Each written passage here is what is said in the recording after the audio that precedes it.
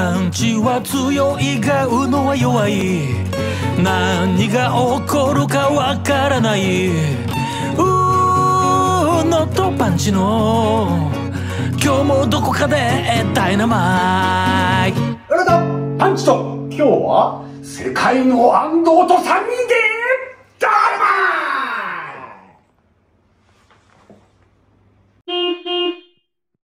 マイサパイさん雨の第三景品ということでございますけども、ね。はい。なか強いね。強いですね、結構降ってますので、うん。ところでどこへ行かれたええええ。あのね あのー安藤さんが今日あのロケにも参加してくれるということで、うんありがとうございます。あのーお願いします。お願いいたします。京急の井戸ヶ谷駅というところで友達と待ち合わせしてるんだけど、えー韓国料理を食べに行きますおおすごい。わあの宇野君さ、おはい。あのー、グミ王子のエンドラン。はいエンドロン。あはい。塚田さんから LINE 来てあさはい。あのー、グミ王子の隣の井戸ヶ谷駅に、はい。まあ韓国料理のお店があるんで、はい。どうですかって誘ってもらったんで。ええー、すごいですのね。はい。お俺わかんないんだよその韓国料理なのか、はい。スナックでなんかラウンジみたいなところで韓国料ってるのか。俺わかんないんだけど、はい。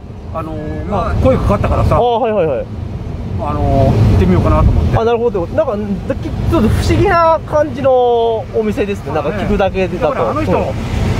子供たちの野球関係もあ広いからそうですよね。だから安藤さん紹介したらさいやーめちゃくちゃあのソフトボールの野球の話も広がるかなと思って。あーなるほどなるほど。じゃあ今日は私とパンチさんと安藤さんで3人で賑やかにお送りしていきたいと思いますので、はい。よろしくお願いいたします。な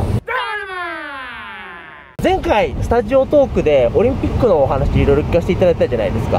はい。でちょっとねまだあの聞き足りないなというところがですね、えー結構ありましてですね。まだちょっともうまだちょっとお伺いしてみてもよろしいですか？はーい。お手柔らかに。お手柔らかかしこまりました。了解でございます。選手村まあ、宿舎のあのお話なんですけども、これ、まあちょっと聞いていいのかどうかわかんないんですけども、はい。なんかやっぱりいろんな方がいらっしゃるじゃないですか、各国から。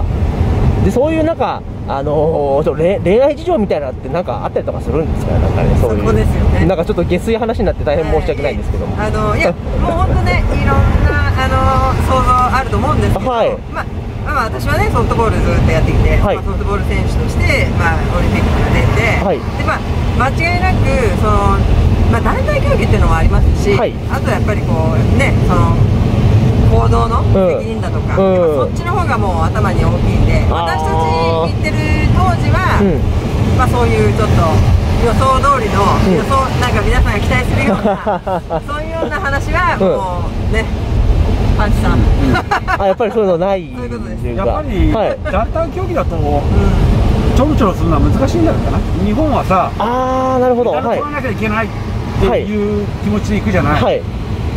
まあどこの国とは言わないけど、うん。わーっていう国もあるだろうしさ。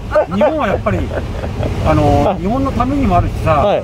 学校のためにもあるしさそうですもんね、あの恩師のためにもあるし、はい、そういうのあるからさ、うん。この2週間ぐらいは、うん、あのとにかくガッとこう来るよ。そうですうね、まあ背負ってるっていうかね、うん。責任とかね、あーうん。そうですね結果とか、やっぱそっちの方がやっぱ、基うん。本あるんででね、個人競技でさはい。メダル取れないって自分で分かってるじゃん。そういう人いるじゃない。まあまあ。もう参加しただけでいいっていう、そうそうですね。参加することにという。そういう人はうんあのいろいろあるかもしれないけど。だなるほどね、うんだってメダルメダル取れるはい。取れる人、うん。取れそうな人、うんいや絶対取れない人っているじゃない。あそうそうです。いますね。やっぱり競競技もしとかにも。これが絶対取れない選手だったら、うん俺はもう自由放題よ。面白い。言われて気づきました、そういうのがあります。いや簡単よ。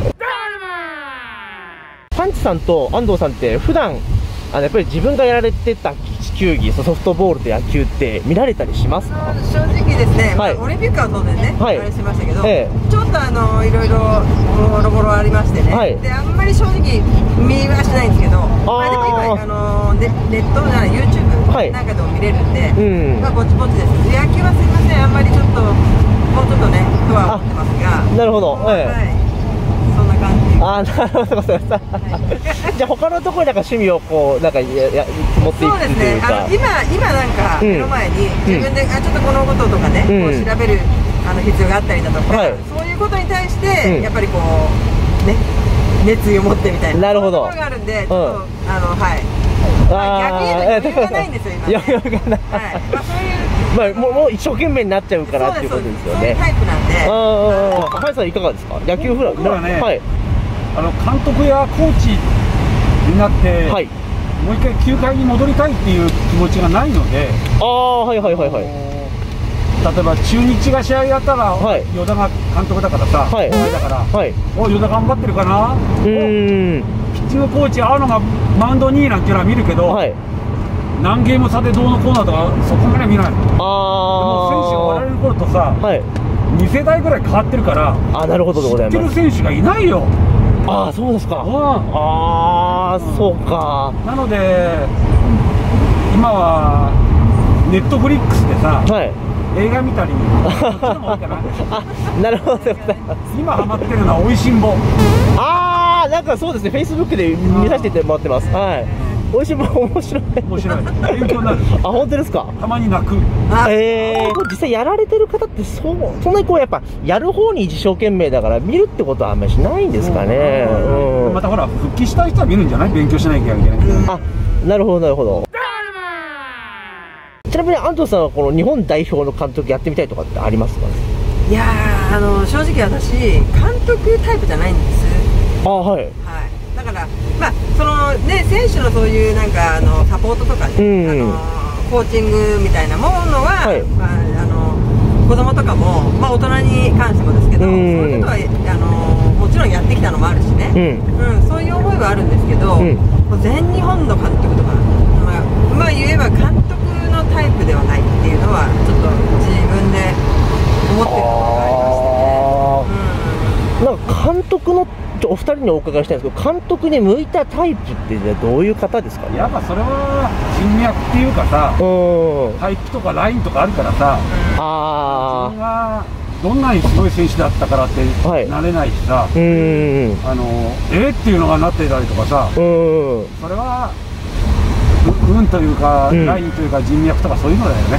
ああやっぱりそういうのがあやっぱあるんですかね。うんそうそれとやっぱ器的なねなんかわかんないですけどなんかなんかわかんないけどん。動転してますもんね。どうって。あのイメージですよ、まあうん、そうですね。監督ってなんか。まあ年と座ってらっしゃるっていうイメージ確かにありますね。なんでやっぱりそのそうですね、うん。そういう感じはあるここだねあいた！中いた！いやー本物だよ！早く早く早く早く今日はなんかご馳走してくれるってことなので甘えてよろしくお願いしますあのあの彼女は、あのシドニーオリンピックソフトボール銀メダリストの加藤さん。昔です。はい、よろしくお願いします。はい、よろしくお願いします。ありがとうございます。このお店の店主のあの金ちゃんです。あ、じゃあよろしくお願いします。よろしくお願いします。お願いします。己のちゃんと高みだ。えー、えー、えー、彼女は。めぐちゃんです。めぐちゃん、よろしくお願いします。ああ、金ちゃん、いいね。この店はどのようにしてる。あ、最初にですね、あの僕が住んでるのが上岡なんで、うん。上岡の三三横丁っていうあの、ん。いろんなお店が入っているうん。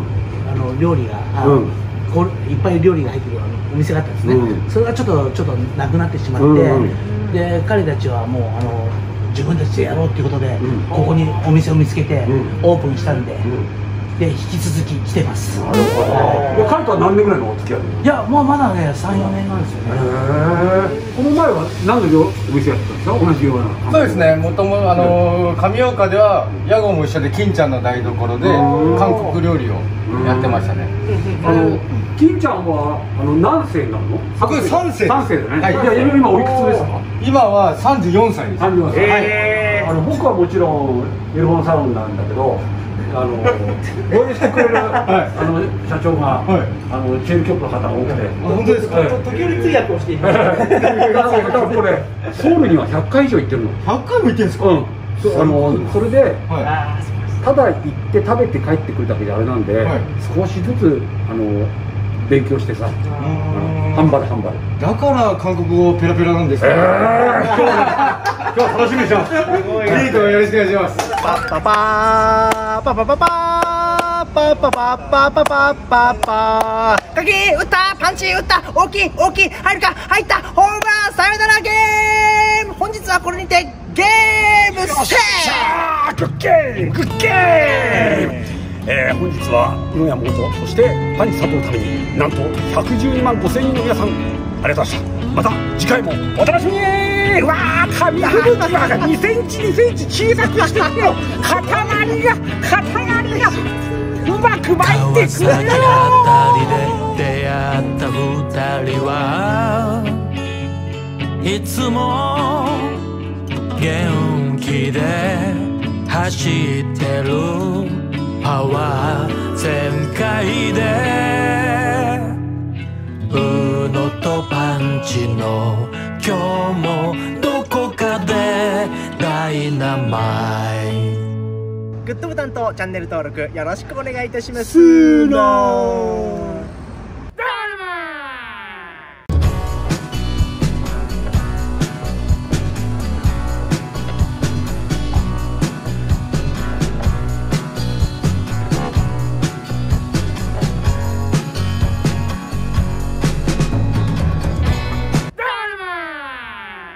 藤さんは今日テスラ初めてはいはい。乗られたということなんですが、はい。い、かがですかテスラ？綺麗。全部見える。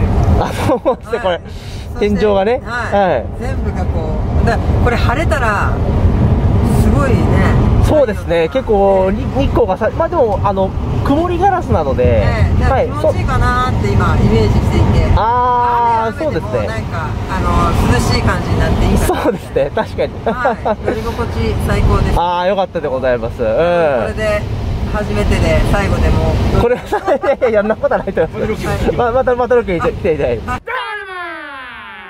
あの我々の YouTube チャンネルをですねあのご覧くださってる方もですね結構増えてきたんですけど、はい。まだねもしかしたらあのチャンネル登録ってどうやるのっていう方がね多分ねいらっしゃると思うんですね。まだそんな人がいるの？教えてあげてよ。そうですよね。簡単なんだから。簡単でございますのあのですねあのまだ登録されていない方はですね、うん。我々の動画を見てる時にですねチャンネル登録というボタンが出てくると思うんです。よ、でそこをピッとうん。押していただきますと簡単にこれチャンネル登録終了でございます、わからない時はですね、えー息子さんや娘さん、ん。また会社の後輩なんかに、ちょっとチャンネル登録教えてくれよ、うん。これっすよピッ。だよね。そうですので、よろしくお願いします。ええ簡単にできますので、はい、よろしくお願いいたします。だ